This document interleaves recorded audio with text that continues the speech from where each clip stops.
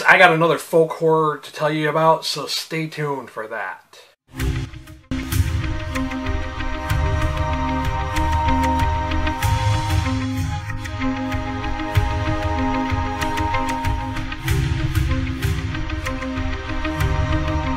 Guys, this is Dan Book Nook Noggin here with another book review, and this time I'm here to review another new to me author, James Brogden's Bone Harvest. Now, um, I this is a very much a multi-genre type book. Um, I said in the beginning folk horror, but folk horror is just a portion of this book. I would say that three quarters of this book is folk horror, and then there's part thriller and part historical fiction. It's kind of all over the place. Um, this, like I said, this is my first time ever having read James Brogden. He is a UK based author. Um, this book clocks in around 496 pages, so it is a big one.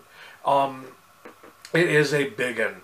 Um, I do have to say that this is probably my first time I, I was aware of this book because I was browsing new books at my local library and I saw the cover for this and the cover kind of drew me in. It was kind of intriguing, this kind of bright orange cover with a skull on it and I wanted to know more so I kind of read the synopsis and I have to say that the synopsis does not do this book any justice.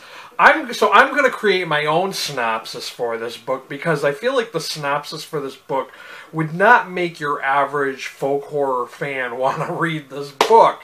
Um, first off, I want to say that, that this is about a cult that worships this god that this is a pre-Roman invasion cult set in Britain and they worship this god that they say who eats the moon or he is the first hunter, the first farmer or whatever. And it's like a boar slash man hybrid type of god, and it's really interesting because we're introduced to this guy named Everett, or at least that's what he claims his name to be. He's an army deserter in World War One and we first meet him in the opening of the story and then it just kind of goes where he meets this other guy who claims he's from this little village and he sees he's wearing this boar tusk bracelet and he inquires about it and the guy tells him all about his religion from his hometown and dude decides to go there and find out about this religion because he's really curious about it. One thing leads to another and then we flash forward because it goes to them I think the last time it was like the 1960s or something like that, and then it flashes forward to like the 90s and the 2000s. So we get these little sprints to different time periods because amazingly these people live a long time.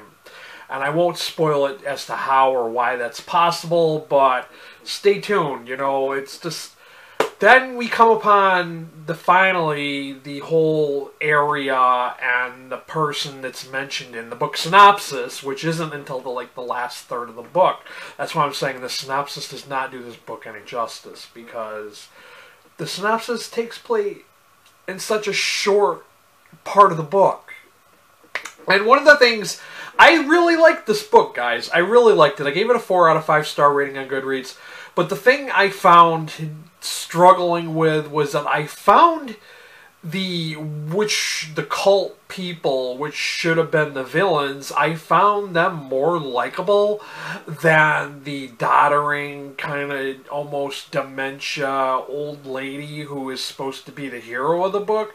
Um, i found her very annoying and yeah i kind of wanted her to be you know taken out because she was so annoying and it's kind of weird that I would you would think the hero of the book would be the most likable character, but it wasn't that way for me.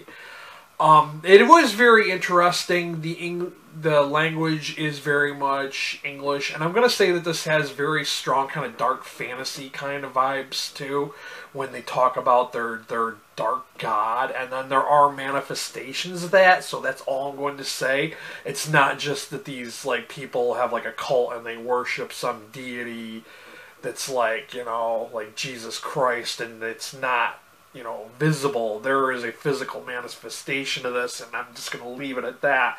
but yeah, this was a really interesting book. Like I said, my first time reading James Brogden. Um, I know he has written a ton of books. I have added a few to my TBR because I want to check these out and see what exactly if this guy writes consistently the same type of stuff. Um, yeah, it, it it was very much folk horror for like three quarters of the book, and then like I'd say the last quarter of it became very much a thriller. Um, it, it was at that point where things kind of got like you know kind of crime-ish, where you know this lady's trying to solve what's going on in her little area of the world, and like I said, I found her character to be really annoying. Um, but yeah, a very very cool book, very worth checking out. I, there isn't too much more I can say about it without spoiling it, but like I did find like you know I loved the book up until we got to like the last quarter of it, and I was like, oh, you know, it it is what it is, but it is worthwhile checking out, and it's making me want to go check out the rest of his other books. So yeah, there's that. I will have a link for you folks in Amazon for you know to you to check this out down below. I'm going to also for international folks, I will have a link to bookshop.org. And if you got something from watching this video, by all means, buy me a coffee or two. I'm not getting AdSense, so there's that. And if you came here looking for book reviews and book recommendations, please, by all means, hit that subscriber button. And while you're there, hit that notification bell. This has been Dan. This has been Bone Harvest, another folk horror book for you guys to check out. Stay healthy and be good to each other.